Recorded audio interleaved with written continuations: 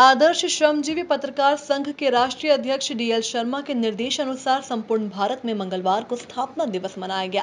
इस अवसर पर राष्ट्रीय अध्यक्ष ने वृक्षारोपण किया। इसी कड़ी में प्रदेश अध्यक्ष अशोक चौधरी के आदेश अनुसार सवाई माधोपुर से जिला अध्यक्ष भरतलाल प्रजापति ने अपने युवा साथियों के साथ वृक्षारोपण किया और गरीब लोगों को खाने के पैकेट बांटे।